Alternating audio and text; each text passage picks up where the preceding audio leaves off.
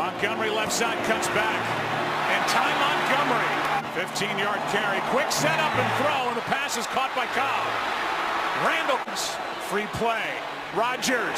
Rodgers. Flushed out. That's the way he likes it. Pass for Adams. He's there and hitting. Second down and goal. Here is Montgomery. Touchdown. Rodgers out to his right. Pass is caught. Montgomery looking for his second.